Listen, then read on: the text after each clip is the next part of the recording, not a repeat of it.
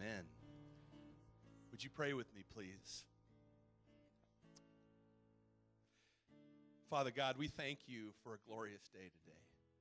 Not because the sun is shining, but we thank you for that too. It's a glorious day, Lord, because we're here to praise you. We're here to worship you, and we thank you as your children that we can come before you and sing praises to you. So, Lord, we just ask that you would use your word today to, to continue to cultivate in our hearts the love that we need to be more like you. And you continue to use your word to transform our minds so that we wouldn't think like the world, but so that we would think like you. Jesus, you are everything. And we thank you. We thank you for what you've done for us. And we thank you for the way that you made for us. So we give you all the praise and the glory. It's in your name we pray, Lord Jesus. Amen. Amen. I'd like to introduce you to a good friend of mine. Come on up here, Mike. Uh, he, if, if, you've, if you've been here, um, occasionally I will take a preaching break. For some of you, that's, that's probably a relief. So. but every so often, uh, just I get tired of hearing my own self speak. So I need to take a little break, and I'm thankful because I've got a brother like Mike who um, he, he and I have a common heart. We've been we've been in the battle together for a long time, and and it's fun uh, to do something like this. Mike's come up here and spoken before. Uh, just a quick word about Mike. He is the director of Vital Men's Ministry. Uh, that's that's our men's ministry, and it's all over the region. Um, it's really grown under his direction, and and uh, um, he just he, he started his own construction company. And you know him; he's a home builder. He's he's one of those guys who likes to get his hands dirty, but but God has called him out of his construction business into full time ministry. So he's taken a huge leap of faith, uh, and uh, we're, we're very thankful that he's here to bless us uh, with, with the way the Lord has gifted him. So, welcome, Mike Sereg.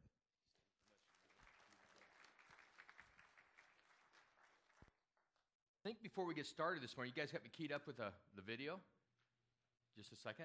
Let me know when you're ready. We've got a video we're going to show this morning. Have you guys seen the, the video that came out, uh, the Bible that came out this last summer? That's coming, also coming into the theaters, I guess, this summer. It's going to be pretty exciting to see how God's going to work that out. But there's a, there's a portion of that video that I want to show you that really depicts about Jesus and the baptism. Because today, there's, there's two couple of things we're going to look at. We're going to look at, we're going to look at the event, and we're also going to look at the commission. Because as we jump into the, the baptism of Jesus, because this is a really big deal, it becomes an event in his life that positions him. And I think sometimes in the midst of our lives, we have those things that come into our lives that all of a sudden creates position. And as we look at that position today, there's a portion of this video that I want to show you. And are we ready to go back there? Good to go. All right, let's watch the video. Well, again, this morning we're going to look at the event and the commission. You know, when I sit there and I watch that piece of movie and I even look in the scripture, I have to ask myself the question, and that's one of the questions this morning that I hope that we can find the answer to, is why would Jesus need to get baptized and why do you need to get commissioned? You know, I'm sitting here thinking, here's, here's the Son of God. Why would he have to be baptized? And, and this morning, I think those are the things that we're going to kind of look at. And we also took a look at the commissioning. Because I look at commissioning because that's also that's a big deal. I think if you go back and you look in John at the very beginning, and Steve read that scripture for you last week, it talks about where John was in the wilderness, and then God calls him out of the wilderness to go and speak and to baptize the people. So he spends his whole lifespan of time after he leaves his family, he's in the wilderness. And then also, too, you go to the commission. I think of Isaiah in Isaiah 6. When Isaiah goes into the Holy of Holies, and here's, here's these seraphim, these, these six figured creatures that are just floating around, and they're singing with such majesty Holy, holy, holy. And then Isaiah all of a sudden says, Oh no, I'm doomed. I'm a man of unclean lips. And then he hears the voice of God. And God speaks out to him and says, Whom shall Isaiah is in the room, and I believe he's on his knees, and the seraphim come down and they touch his lips. So the sin that is in his life is taken away. And Isaiah says, Lord, send me. So he gets commissioned. And the same thing I think in my own life, uh, as going and, and studying it and, and the process of becoming a commissioned pastor and, and going through all the studies and all the things. And, and you go all through all this portion of your life. And I'm sitting here thinking at times when I was going through, that process started when I was 47 years old. I'm sitting here thinking, Lord, why did you wait so long to commission a man like me and also, too, in the midst of my own brokenness? And we were doing all these studies, and then one day we had a test in the middle of the summertime, and we had several of the commissioned pastors were there, and several of the men that were also too going into a full-time ministry that was down with us as well that were out of Michigan. And we were being tested that day about Old and New Testament. And also, too, we also had to sit down in front of a panel and get interviewed of why we were called into ministry. And those were, you know, back then, man, there's a lot of studying, and I'm not just the best studier type guy. And, you know, I'm used to going out and I'm bending nails and I'm doing all that other kind of stuff. So that was a change. That was, that was a shift for me because I go back into high school, man. I don't know about you guys, I just did enough to get through it. I, I, wasn't, a, I wasn't an A student by any means, but I just did enough to get kind of get through it. That wasn't my thing. But anyway, I'm studying and doing all those things. And, and then all of a sudden, one morning, we get done and we're having a break and we're standing, we're at Third Church. I don't know if you guys have ever been in Third Church. Third Church is a, is, is a big place and is a big building. Well, any, anyway, we come out, and here we come out of our testing, and out through the room comes a guy riding a motorcycle, and he goes in to the building down below in the lower por- portion of at Third Church. Now, atypical. I'll just be honest with you. You guys, there's you don't t- see too many Harley guys showing up at Third Church in the middle of the week. It's the truth. This guy was all dressed. He had his leathers on. I mean, guy was cut. He was ripped. I mean, he, he was your atypical Harley guy. Well, he comes in and he stands, and all the room freezes for a moment. I'm not kidding. It just it was just boom. You ever been there before that moment just freezes? Well, anyway, everybody freezes, and I hear the Holy Spirit tell me, go. And man, I just I just move into the situation. I introduced myself and we were talking. I said, What brings you here today? Especially at a church. He goes, I was driving on my motorcycle and he said, I just something said for me to stop. And he says, I'm looking for a Bible. And I thought I might find one here. Isn't that interesting? I might find one at a church. Really? Well, anyway. well, anyway, he goes and he, and he stops, and we're talking, and, and, um, and he goes, What Bible do you use? And I'm sitting there thinking, I had just bought a brand new Bible, I hadn't marked it up, my name wasn't in it or anything yet. So I go grab my Bible and I give it to him. I said, Here, take this. This is, this is what you're looking for. This is where the promises are. This is where the hope of life is. So I give that to him, and I said, Sir, if you don't mind, can I pray with you? So we prayed. And then he leaves. Now all these men are standing here, and only God sets up such things as this. And I'll never forget, Kevin comes up to me, puts his arm around me, and he says, Mike, I'm just so proud of you. You stepped in to an unknown situation and walked through it. And for me that morning, even though the commissioning, we had a commissioning service, Steve, Steve did the same thing. Those were really, really cool, cool things. But for me, the commissioning was, was that moment of that morning. Of going in and stepping, that was the validation from only that God could do in my life, that the commission that He's called me into was what I was supposed to do. Because you got to remember, God always calls folks who are just average guys, average people average men and women. He always chooses those that you don't think would do the, such thing. I would have never guessed back then that even the opportunities of getting to do the things that we do. We had this whole big event. If you guys, did you guys get a chance to go to the Skit Guys about a couple weeks ago in um, Pella? Man, I tell you what, we had a great opportunity. We had an event. We had over 1,600 people show up at Vermeer Pavilion. And the thing that was so cool is I looked out the window and I was watching people that were coming to the event we're sitting here at Vermeer. Not only was the Vermeer Mile packed, but it was clear into town. People were waiting to come to the event. And I think sometimes that's a little bit how it was for, for Jesus in the day. With here's John the Baptist. He's out and he's baptizing people. And, and these people, it says, it kind of showed in the video where people, he was, people were almost pushing people back because they didn't want John to get flooded in with all the people that were going to come and wanted to find salvation. Because you got to remember, these are Jewish people. This was things that was different because for the most part back then, the baptism was for the Gentiles, not for the Jewish people. But John the Baptist called them out.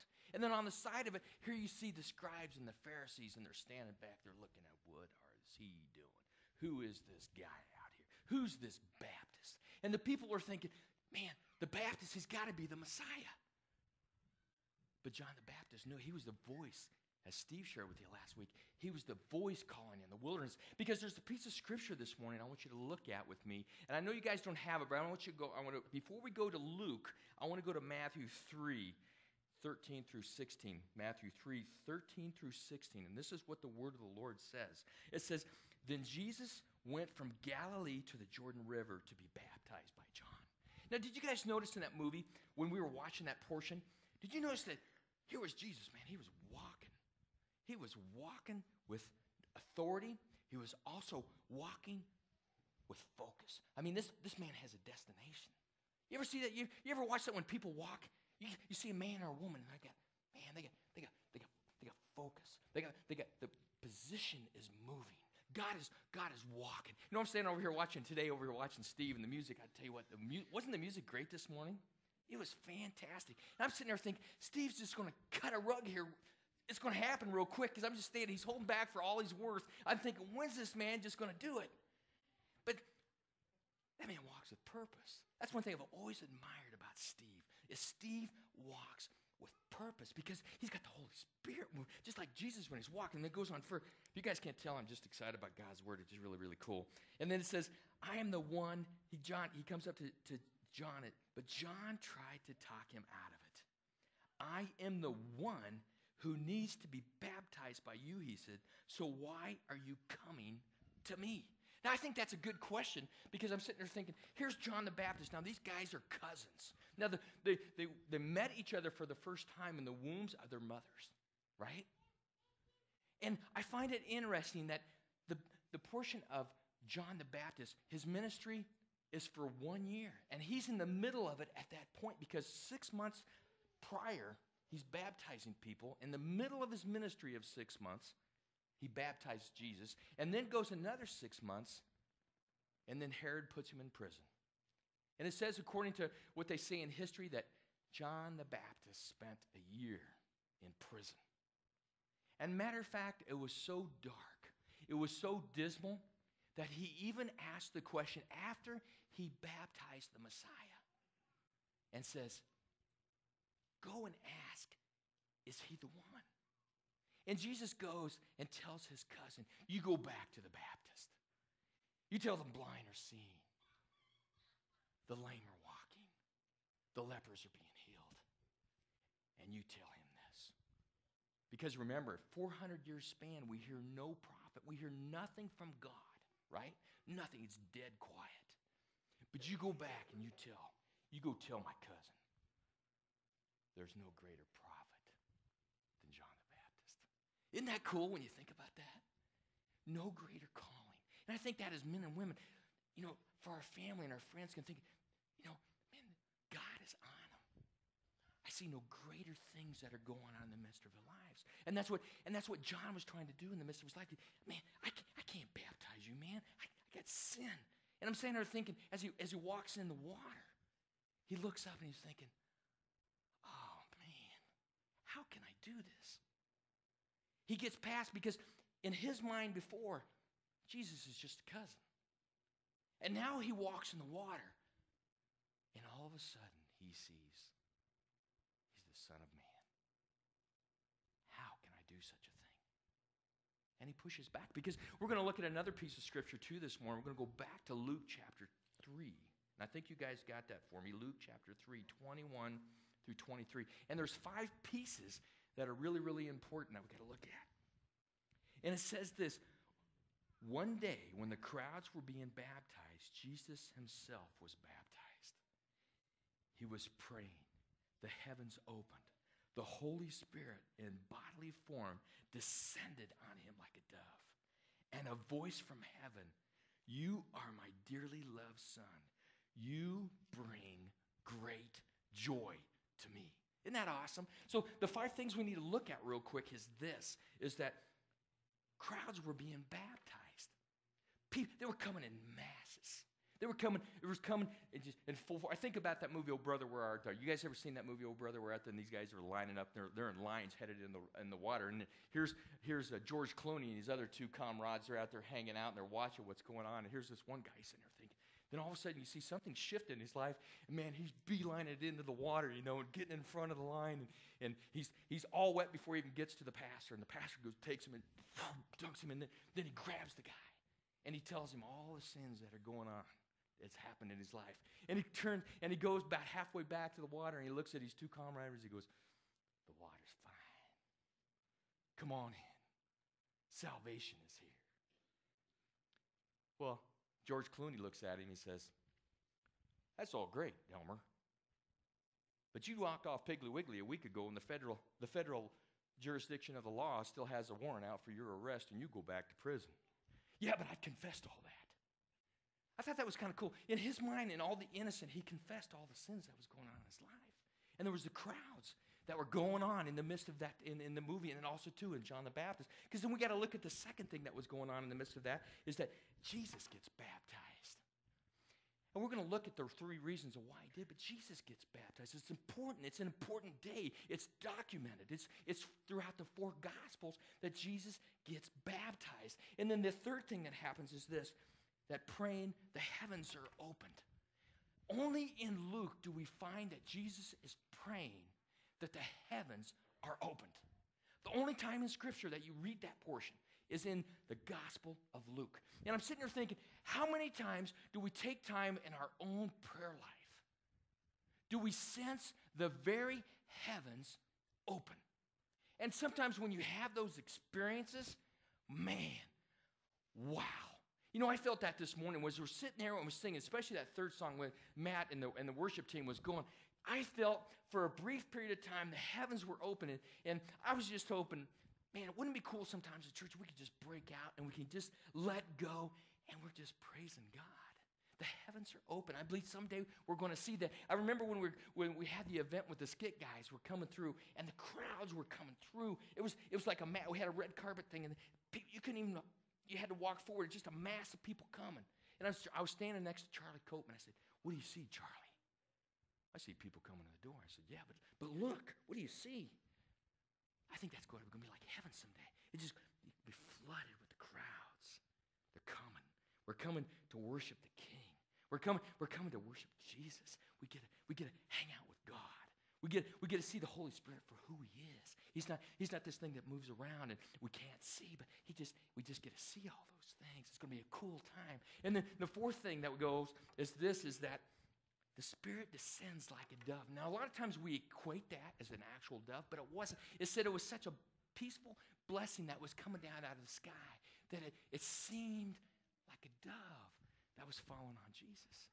My heart yearns for the Holy Spirit when the Holy Spirit falls on people, when they're getting down and they're broken and they're praising God, and the Spirit falls and jumps all over the place. And you see people coming in, they're confessing th- sin and they're praising God.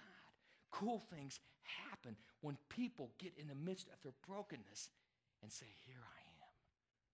That'll be a cool thing. I think those are things that we need to look at in our own lives. And the fifth thing is this He hears God's voice. He hears the voice of God. Now, the thing that I appreciate so much about this is this, because we have the three reasons of why he was baptized that I think we need to look at this morning is this. Baptism gave approval to John's ministry.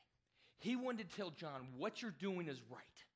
What you're doing, because that's a prerequisite of what the commands, because it says in the Great Commission, go and make disciples, baptizing them, right?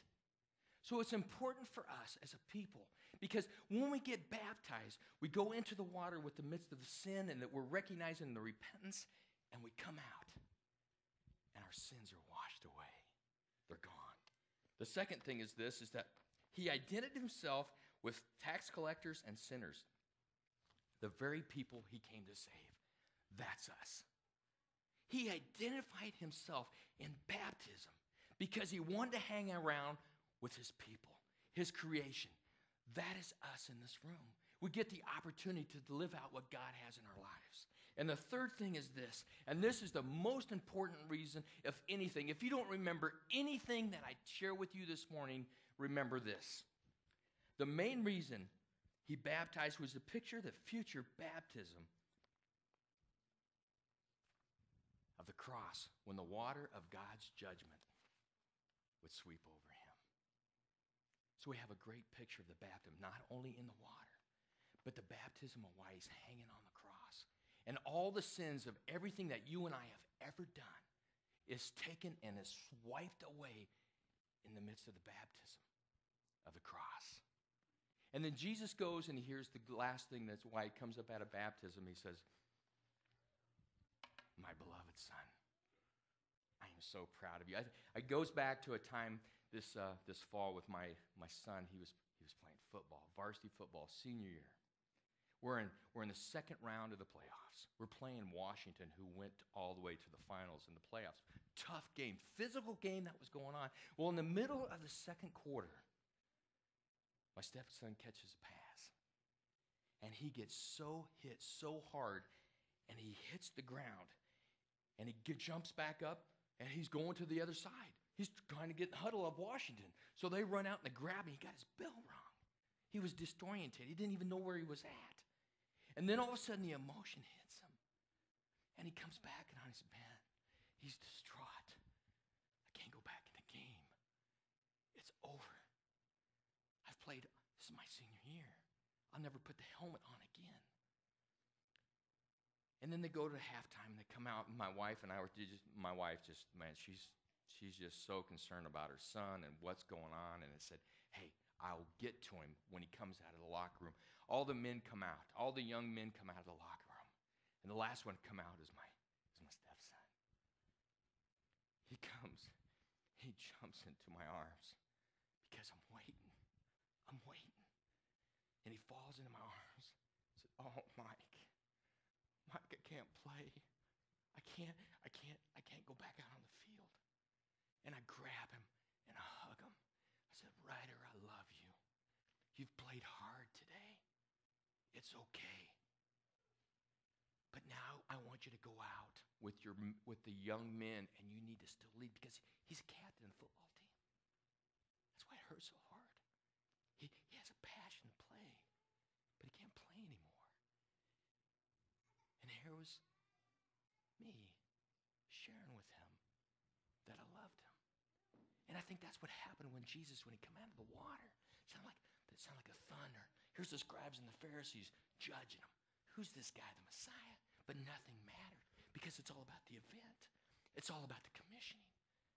This is my son. I love him.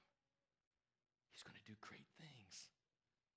He's going to do great things in my glory. And I think those are the things that we got to look back and we, as we look into baptism, because we come to the last question I want you guys to think about today is this. In what ways do we need to submit our own lives to Jesus to be an example for others to follow?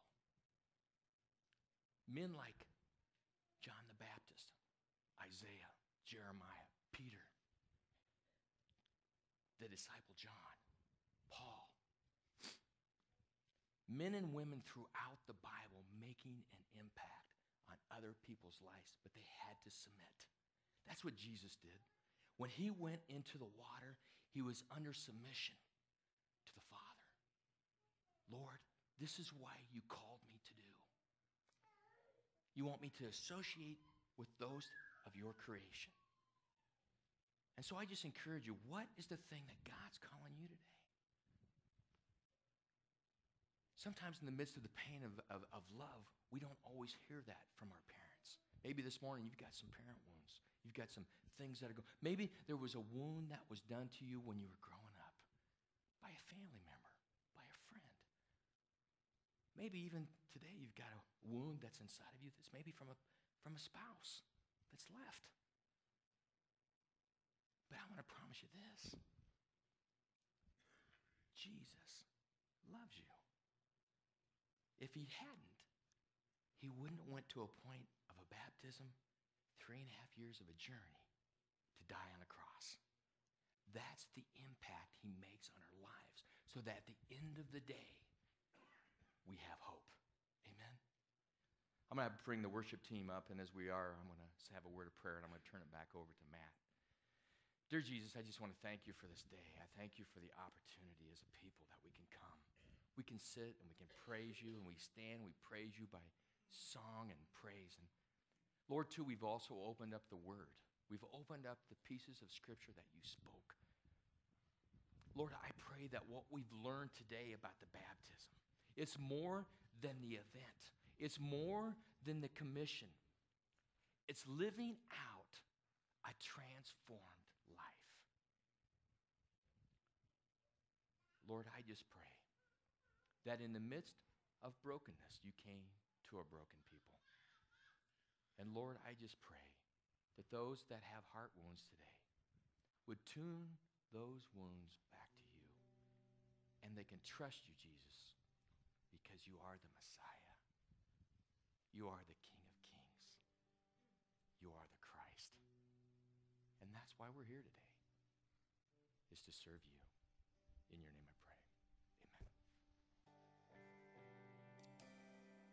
During that last time of worship, I was completely overcome with emotion. And I as I was as I was praying through that, I the reason why is because you know I think for every single believer there's that moment where you know that your life will never be the same again. And you cross that line and you do it because the love of God, your heavenly Father that says, "Hey, you're you're my son. I love you." And see, when you really latch on to that, there is no going back. There's none. I was brought back to that time in my life where I know God said, Steve, I love you. And I'm never, I'm never going back. Never. And see that that just that's that moment. And and we're singing that song. And if you were in our heaven series, you know that's the song that's sang in heaven. You know, we we overcome it was by His authority, His victory. It's all His, but we overcame. And it's just, you know, for those of us that have crossed that line and we're never going back, that's a huge affirmation. And it's just everything there is. So I just want to urge you as you leave here today, you know what's waiting for you. Things are out there, whether it be family or coworkers or whatever means that the enemy uses to try to tell you you're something you're not and try to tell you that you're lower than who God says you are. When you leave here today, please stand and receive a blessing. When you leave here today and when that battle begins, you remember this blessing. And as you leave here, you go knowing the love of God the Father, the grace of our Son, of the Son, Jesus Christ, our Lord, and the fellowship of the power of the Holy Spirit now and always. God bless you. You're dismissed. Have a good week.